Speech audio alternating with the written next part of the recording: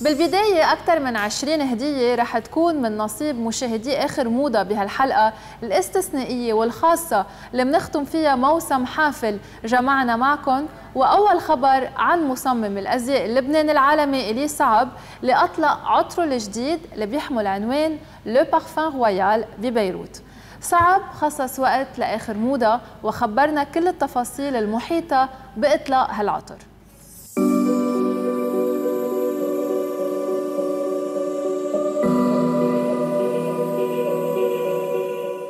مسيو إلي صعب مبروك Le Parfum Royal يلي هو بداية ال gamme Royal من عائلة Le Parfum خبرنا أكثر عنه وليه اخترته هلا تحديدا الحقيقة هو مش هلا هو هيدا بلشنا هيدا بلشنا بهاي العائلة من تقريبا شي سنة ونص.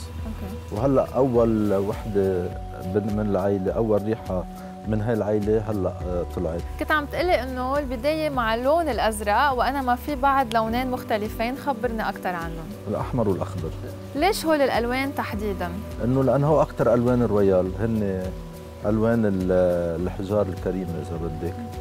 ال rubis وال وال émeraude وال saphir. إذا قلنا عطر قوي بنقول haute couture أكثر لما نقول عطر خفيف يعني prêt-à-porter. هل صحيح هالكلام؟ بس فينا نوضع Le Parfum Royal بالليل ولا كمان بالنهار آه لا ما بتصور.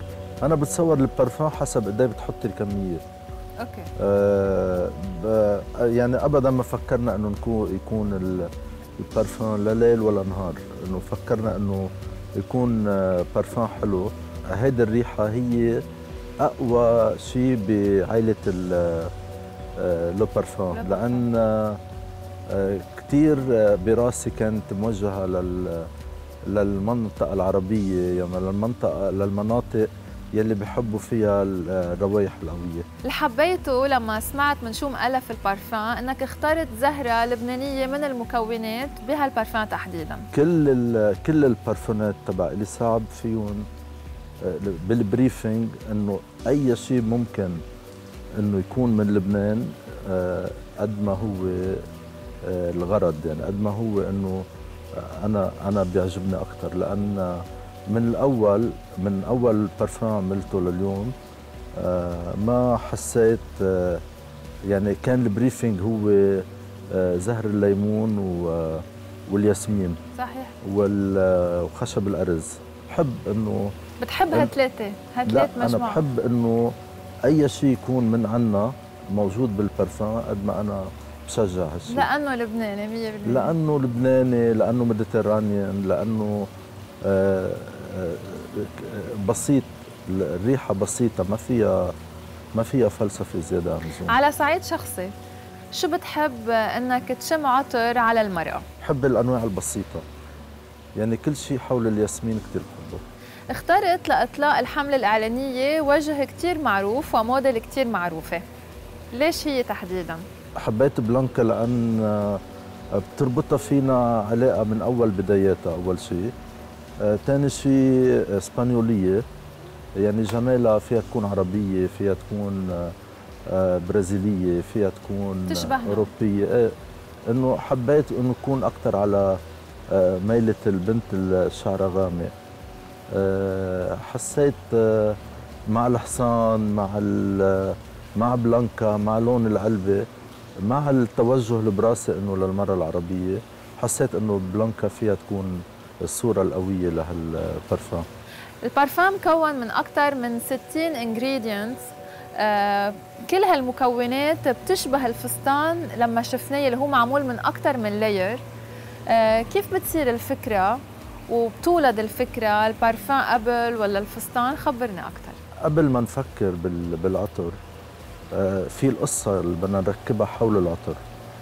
يعني القصة إنه آه، المرأة العربية إنه يعني يعني كل شيء بيبلش من ال inspiration يعني ما في شيء بيجي بالصدفة بعدين. يعني لما بنعمل briefing briefing كان للصورة يما يما للعطر هو ذاته. يعني لازم كلهم يصبوا بذات المطرح من خلال معرفتك بالعطور بدار إيلي صعب شو هو الأكثر عطر مبيعا أو ال best seller بدار إيلي صعب؟ بدي أقول لك ثمان سنين للمرحلة اللي قطعناها نحن بال section ال parfum اللي عندنا إياه إنه منه كثير وقت لل آه، للمطرح اللي أخذناه بسوق البارفان بالعالم. آه. يعني ما بتصور في حدا بثمان سنين آه، قدر يثبت وجوده بعالم البارفان قد ما عملنا وقد ما تنافسنا مع آه، اكبر أكبر روايح يعني موجودين بالسوق. مجرد تصور مش مبني على أرقام ولا شيء. بقول لك بتصور أول بارفان بعده هو يلي أكثر واحد مطلوب بالسوق. يمكن. مع إنه كل ال كل ال الجام اللي عملناها من بعده كلها أخذت حقها. بس بتصور خصوصا الزباين اللي صعب إذا بدك المخلصين يلي دائما دائما بتصور إنه بعدهم بحبوا أول ريحة. السنة صار الإطلاق للبارفان من بيروت هالعاصمة اللي بتحبها كثير مش من باريس ولا من بلد آخر. ليش؟ لأن أنا شوي من سنة لليوم براسي عم بغير الاستراتيجية تبع تبع ميزون اليساب يعني أي شيء بينعمل من بيروت الأولوية لبيروت إنه ينعمل منها. أما إذا ما في مجال ساعتها من بنلاقي مطرح ثاني وهذا فخر لنا أكيد. هيدا غير إنه فخر لنا وغير إنه كل هول الاشياء بقول لك إنه بلدنا بحاجة إنه يجوا ناس يشوفوها حقيقته يشوفوا قد إيه حلو بلدنا قد إيه أهل بلدنا حلوين. هيدا الشيء كثير بهمني بينه بالمستقبل هيدا الشيء صحيح لأنه الصحافة العالمية كانت موجودة امبارح بال event وهن مش بس ذكروا البارفان قد إيه حلو كمان كنا قاعدين وعم نحكي قديش هن حبوا لبنان. يعني بالنسبة لي إذا كتبوا سطرين عن اللي حسوه بالبلد أنا بالنسبة لي هيدا شيء كريدي كثير كبير فينا نعطيه لبلدي. وهن قالوا رح يعدوها رح يرجعوا يجوا. وكتبوا بالمجلات مش بس عن العطر كتبوا عن الأماكن اللي أنت بتحبها. صدقيني هو يعني السبب إنه أنا غيرت الاستراتيجية تبع الشركة إنه نقدر نعمل أشياء أكثر هون منشان هذا السبب. شكرا لك شكرا على ال interview مبروك مره ثانية للباكو ميرسي حبيبتي